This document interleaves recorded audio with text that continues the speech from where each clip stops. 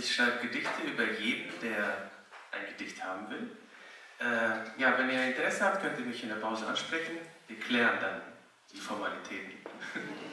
ich habe auch Bücher dabei, aber das ist auch in der Pause. Genau, mein Text äh, ist relativ neu und äh, eigentlich länger als sechs Minuten, deswegen fange ich direkt an. Es geht um Liebe, Wut und einen Weltuntergang. Das heißt, ich war mal klein. Viel Spaß. Alles begann in einem Bus. Ich saß am Fenster stumm. Darin sah ich mein Spiegelbild, die Welt um mich herum. Ich glaube, ich werde ich mal sehen. Da fragte ich mich schon, wieso gibt es Krieg, Gewalt und Hass trotz Gott und Religion? Wieso hält er den Menschen nicht auf, nicht fest und nicht zurück, wenn er sich selbst und diese Welt vernichtet, Stück für Stück? Wieso sehen viele glücklich aus, wenn sie es gar nicht sind? Wieso verdecken Masken das, was uns so traurig stimmt? Ich wusste nicht, wieso ich stumm und ohne Worte war. Ich habe gesehen, ich habe gehört und mir war immer klar, dass ich nicht so wie andere bin, vielleicht vom anderen Stern, vielleicht auch nur in meiner Welt von anderen entfernt.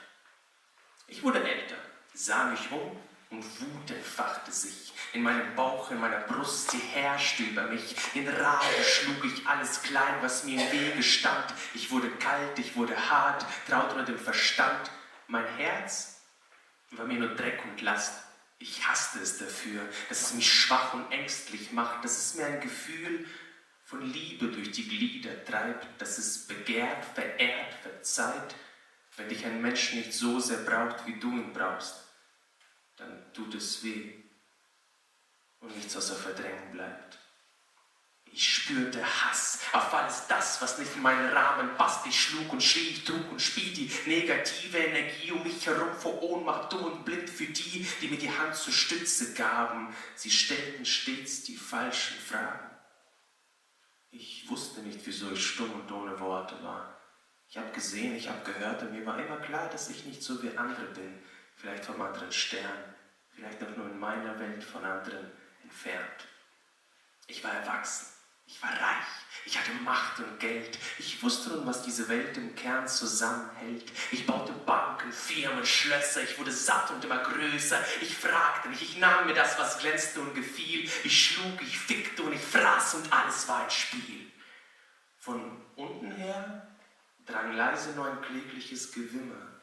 Ich blickte hinter Panzerglas aus meinem Logenzimmer hinab zum Volk, zum kleinen Mann, der lang schon vor der Türe stand, der schwach seine Parolen schwang voll Glauben an Widerstand, den er in Märchenbüchern fand.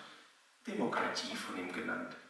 Ich ließ das Back von Polizei und Panzern eskortieren, aber sie nie wieder den Fuß von meinem Thron beschmieren. Doch jeden Tag wurden es mehr, sie ließen sich nicht zügeln. Die Masse kam von unten her mit Messern und mit Prügeln. Mein Panzerglas hielt ihm nicht stand.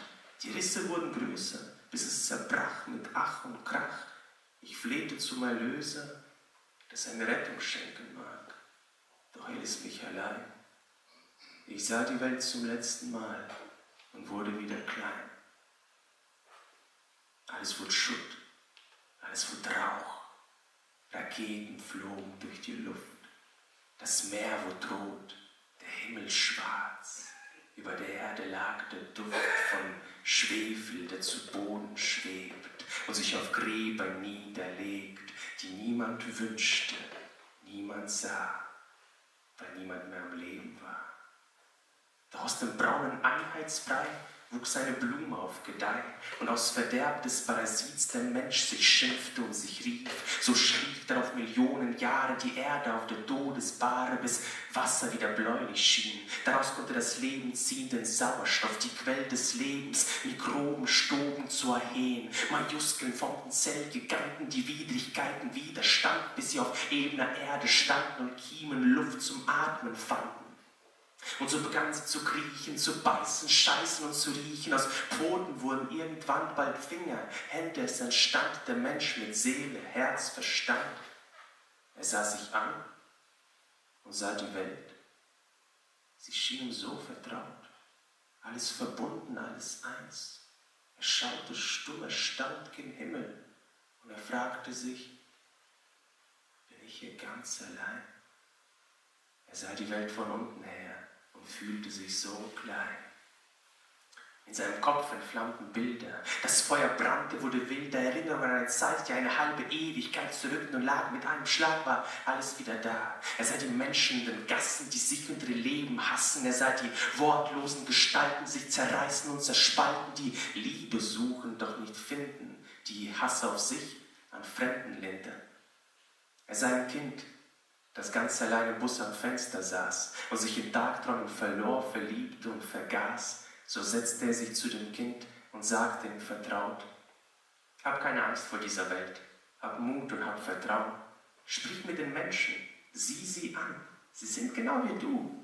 Hör ihnen zu und du erfährst, was tief im Innern ruht. Finde die Sprache, um zu teilen, um es den anderen zu zeigen, was in dir ist, was dich bewegt, zum Lachen bringt, die Tränen regt. Werde ein Teil von deinesgleichen und du merkst, es wird einer reichen. Ein Mensch, der eine Sprache spricht. Mehr braucht es nicht. Mehr braucht es nicht. Ich sehe die Welt als Spiegelbild. Sie spiegelt mich, ich spiegel sie. Gebe ich Hass, bekomme ich Hass. Gebe ich Liebe, kriege ich sie. In jedem Fall einmal zurück. Ich habe Geduld und Glauben. Der Mensch ist gut, doch manchmal fehlt ihm Hoffnung und Vertrauen. Vielen Dank.